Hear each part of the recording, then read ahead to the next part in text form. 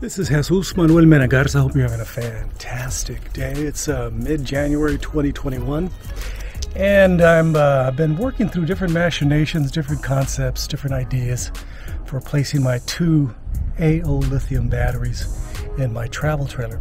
I've gone through this uh, several ways. I've thought about different concepts and uh, it's uh, been weighing in my weighing on my little tiny little brain quite a bit. So let's turn around the camera and show you what I'm up to.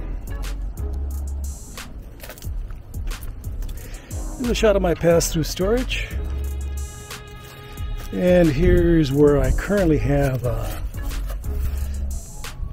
a battery, uh, a wet cell battery, and uh, I marked in red the various uh, connections here. Again, let's have a little, uh, little, con- you know, what do you call it, bridge here? It's probably a more technical term for that, but basically it bridges uh, several items right here. And this is your positive, it has one positive, okay?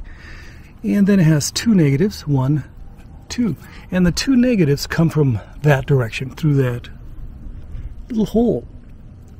So I was thinking about uh, just getting a larger uh, battery box because this battery box is a few inches too short and placing my lithium batteries in there. My batteries are top of the line pretty much. These AoLithium batteries are absolutely top of the line batteries. They have, uh, you know, the shut off in case it gets too cold and it won't charge. So that's a premium feature for a lot of manufacturers out there. So so uh, I'm going to put the two batteries won't fit there. I'm not going to put one. I want to have two. So this is about two inches, uh, too uh, short, and you have a little bit of room on each side to add another box if I wanted. But I said, nah, it's more of a pain in the ass to find a box or build something. Of course, I went through different permutations in my brain. I said, hey, why don't we build something? Why don't we uh, make something out of aluminum? Why don't we make something out of wood? Let's make something out of steel. Of course, I don't have a welder, I don't have a riveter, uh, and I don't have any uh, shop tools to, for chopping wood. Uh, I don't have a table saw, so you know, I can imagine the concept, but uh, actually uh, following through and making something would be rather difficult. So, what I came with, what I felt I should do is essentially right here, just add a a 2 aught cable going through that hole and under the you know the front of the pass through these two these two right here one and two can just I can just loosen down here this little contrivance as a bolt and it's a very secure connection by the folks at Rockwood Flagstaff.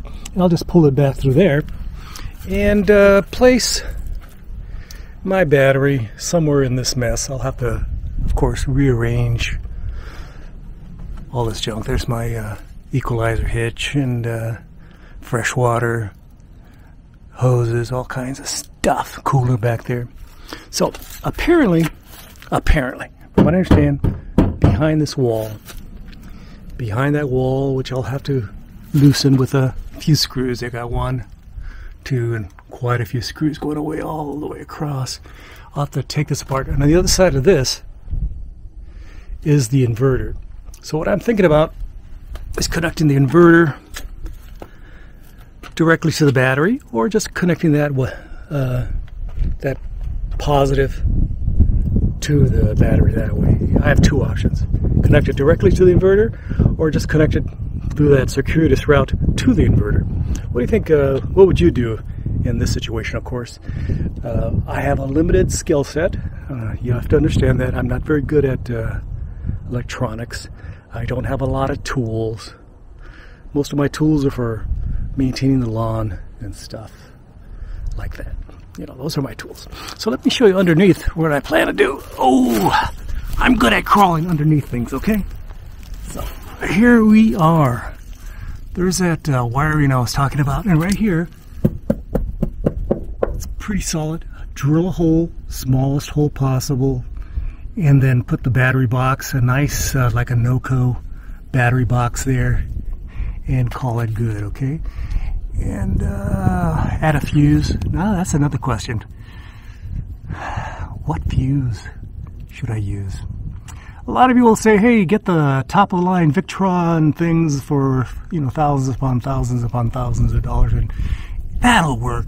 But of course, uh, what are you, who are you talking to? A cheapskate, okay? So cables, move, take them from the battery box and move them right over here and shove them inside into a Noco battery box, which would be in the uh, pass-through storage. So what do you think of that? Ooh, let me get back out. Ah. Hey, I made it. Ooh. So that's the plan. What do you think?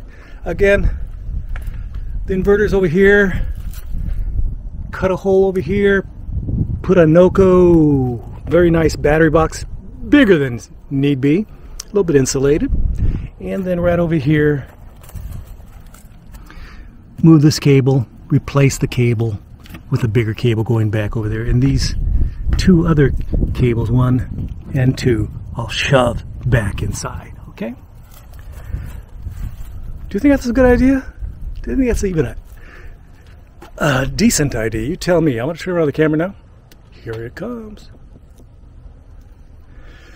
So that's me in my uh, idea. What do you think of my idea? Don't forget to leave your kind, again, super kind, and friendly comments below abajo. Por favor, si tienes el tiempo. Again, uh, I am not a mechanic. No, no way, Jose. I've done uh, back in the day, back in the 60s and 70s, I would, you know, switch out a transmission or, you know, change out a clutch and pressure plate and do the brakes and stuff like that. And stuff like that back in the days when cars were relatively simple, I would do things like that. On my Austin Healey, my 57 Chevy, my Volkswagen Bug, stuff like that, but not anymore. So, electronics is a bit of a pain for me. Okay? So, please leave your kind and super, super, super friendly comments below. Thank you very much. And don't forget to like, subscribe, and share. I would greatly appreciate it. This has been a very short video by Jesus Manuel Menegares. I just basically try to ask for your help and suggestions. And if you want to come down and help me out, come on down. I'm in Fort Worth, Texas. I'm a nice guy, relatively, my wife says. Again, from Fort Worth, Texas, gracias, adios, bye bye.